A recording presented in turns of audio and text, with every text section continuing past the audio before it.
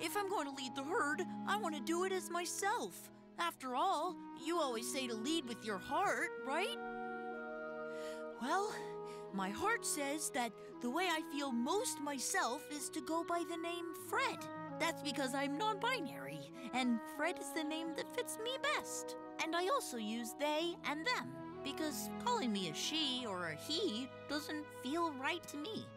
Oh, didn't know that. No wonder you've been struggling. How could you lead the herd without being yourself?